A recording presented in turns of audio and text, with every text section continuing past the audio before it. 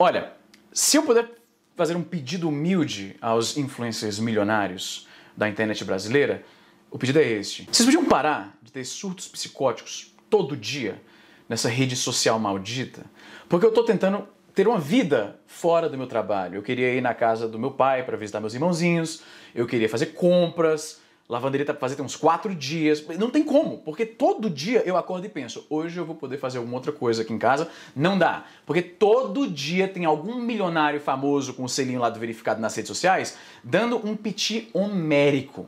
O que, que aconteceu dessa vez? Sejam bem-vindos ao meu canal mais uma vez. Eu sou o Iso Nobre, o leão lobo da internet. Dignidade já. Aparentemente, esse é o meu papel e se a história de hoje ensina alguma coisa, é que você não pode tentar se, re se rebelar contra as alcunhas que te dão na internet. Te chamar de uma coisa, meu irmão, nem responde, só aceita de boa, porque se você ficar putinho, é pior. Essa é uma das lições mais importantes que você deveria ter aprendido do ensino fundamental. São duas coisas que valeram a pena daquela época, na escola, tá? Regra de três e se você se, se você chilicar é pior. Se você é novo aqui no canal, eu vou pedir aquela mendicância que eu sempre faço, né? Se inscreve, clica no sininho, deixa um comentário, engaja com o canal de alguma forma, porque eu passei um tempo longe, o YouTube basicamente destrói o alcance dessa minha pequena plataforma aqui no site, e para isso eu preciso da sua ajuda. Se você engajar com um comentário, isso ajuda meu vídeo, meus vídeos a voltarem a ser recomendados pela, pelo, pelo site e tal. Você já entende já, né, mano? Dá um joinha, mano. Porra, se vocês dessem joinha, eu não tinha que estar... Tá tá, tá pedindo aqui, ô Vitor!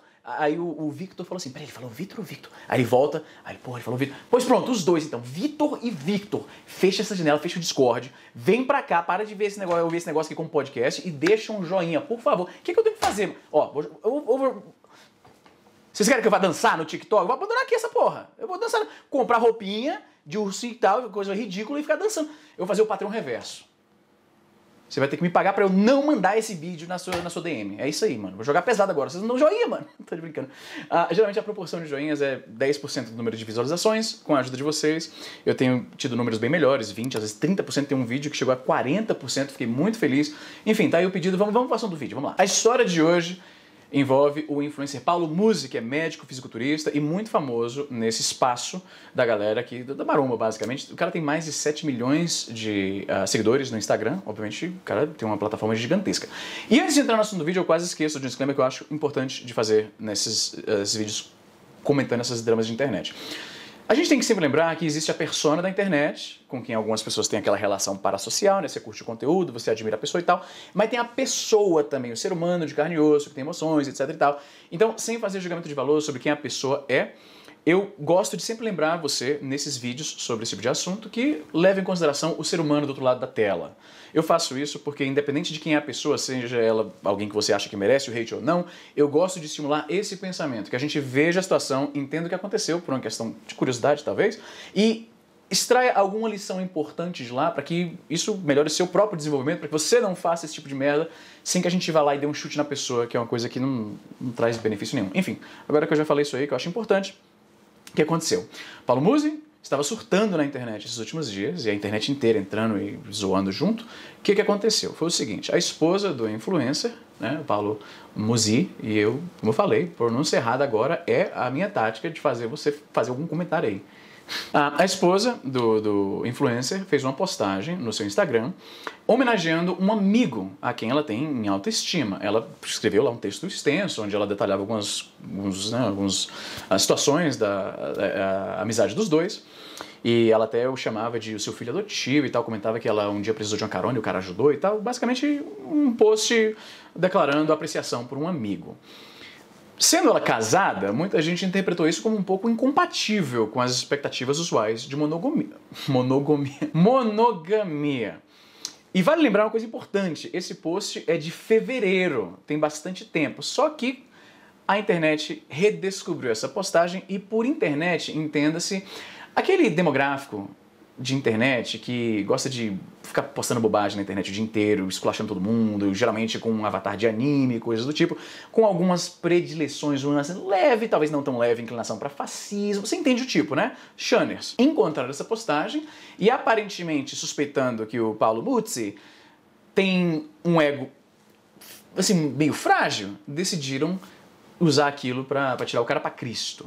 Então começou um movimento na internet de chamar o cara de corno por causa daquilo. Um milhão de memes de cornice, de infidelidade e tal. E o Paulo Musi não conseguiu lidar muito bem com aquilo. Ele fez várias postagens enaltecendo o tamanho do próprio pau, insinuando que se estão falando mal de uma esposa alheia porque tem pau pequeno, porque ele tem dinheiro. Basicamente fez várias postagens de autoafirmação enfatizando o fato de que ele é rico, de que ele tem pau grande, que ele é bem sucedido na vida, chamando todo mundo que tá zoando ele de perdedores, etc. E sim, é provável que essas coisas são todas certas mesmo. É provável que ele tá muito melhor na vida do que a galera que tá zoando ele. Eu não duvido disso. Só que, quando você se dá o trabalho de deixar isso explícito, fica bem óbvio que esse sucesso todo não está sendo suficiente. Você ainda precisa da aprovação de terceiros que você nem conhece. E o cara passou o di dias, na verdade, essa altura do campeonato, discutindo com um adolescente shitposter de internet com prováveis 16 anos de idade, com três seguidores. E a internet, quanto mais você se debate contra a brincadeira, mais as pessoas vão te zoar. E o cara tava surtando, xingando todo mundo, o tempo todo se autoafirmando. Foi um papelão. Nesse meio tempo, um tal de Alessandro Loyola, cujo trabalho eu não conheço, mas eu vi que ele tem algumas palestras, tem alguns livros com um teor meio conspiracionista sobre Covid, coisa parecida. Ele parece ser um tipo de coach de relacionamento. Eu não sei, não conheço o trabalho do cara, então não posso falar nem bem nem mal aqui, realmente não conheço. Só que ele fez uma thread na, no Twitter, basicamente se referindo ao caso da esposa do Paulo Musi, sem citá-lo diretamente, mas sendo específico bastante para que todos interpretassem que ele estava falando da mulher. E ele estava basicamente menosprezando a mulher, dizendo que mulher dele jamais faria um negócio desse, que isso aí está errado, que. Enfim, ele basicamente deu lá as suas, a sua filosofia de como uma relação devia ser, fazendo julgamento de valor contra a esposa do cara, que é uma coisa meio ridícula, eu acho. Se importar tanto assim com a relação de terceiros que não te afeta em nada. É esquisito. Eu vi brevemente alguns vídeos de entrevistas desse Alessandro Loyola e ele parece. E, assim, parece que ele associa esse tipo de comportamento, né, a suposta, uh, um suposto mau comportamento da esposa do cara com algo que é endêmico, que está acontecendo no mundo inteiro, se eu entendi bem a sua filosofia, e que isso está deixando os homens mais fracos e que de alguma maneira isso prejudica a sociedade ocidental. Eu não, eu não entendi muito bem. Enfim, cara, parece maluquice para mim, sinceramente. Mas enfim, aí o Alessandro foi lá, que também é médico, o que é interessante, porque rinha de médicos. É a primeira vez que eu vejo isso na internet.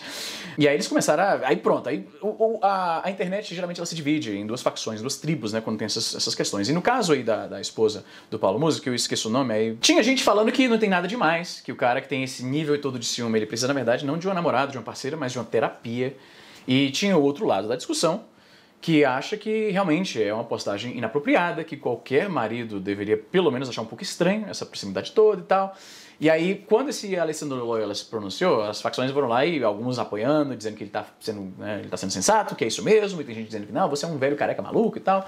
A propósito tem isso, se você for careca, você tem que ter, você tem que saber que esse vai ser o principal argumento usado contra qualquer coisa que você fala. Então, às vezes, nem adianta você fazer um grande argumento, porque vai ser perda de tempo. Você vai lá digitar toda a sua retórica, toda a sua dialética, toda e aí o cara vai lá, ah, tá bom, careca.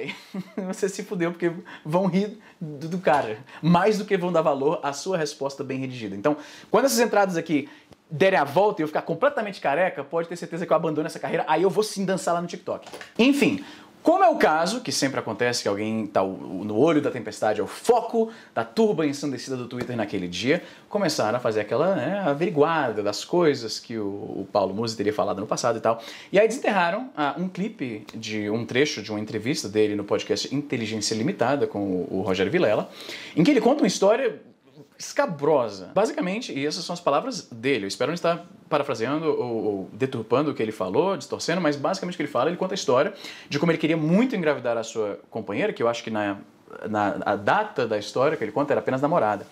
E aí o que ele fez? Ele ficou de olho na tabelinha dela para descobrir quando ela estaria fértil, e aí ele propôs que eles fizessem sexo desprotegido, né, contando com essa gravidez. E aí ele conseguiu engravidá-la, e a mulher ficou desesperada, de acordo com a história né, que ele contou, chorando, preocupada e tal.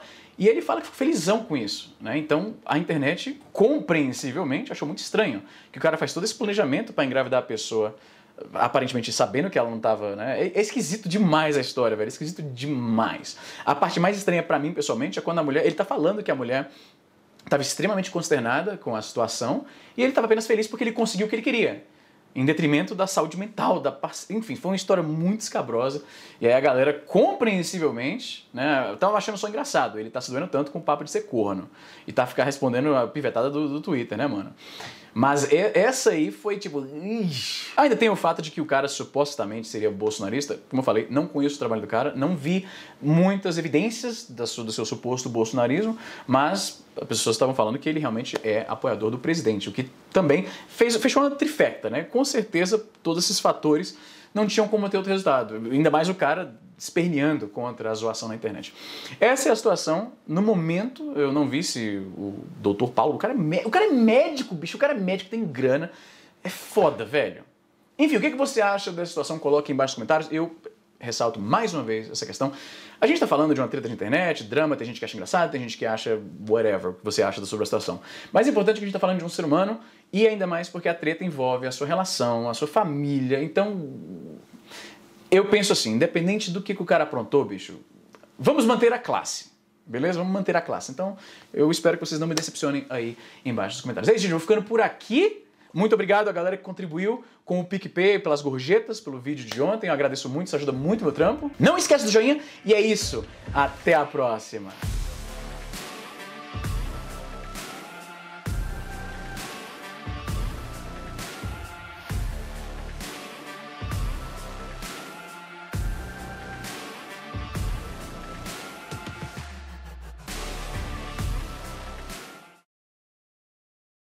Irmão, é impressionante, porque olha só, o cara, né, o Paulo Musi, ele é famoso, rico, bonito, forte, apreciado pelo seu trabalho. O cara é médico, que é uma posição de muito prestígio na nossa sociedade. O cara tem tudo que você imaginaria, você associaria com um sucesso, com ter conseguido chegar num objetivo de vida que é né, louvável e tal. E nem ele tá imune de surtar porque tá sendo zoado na internet, cara.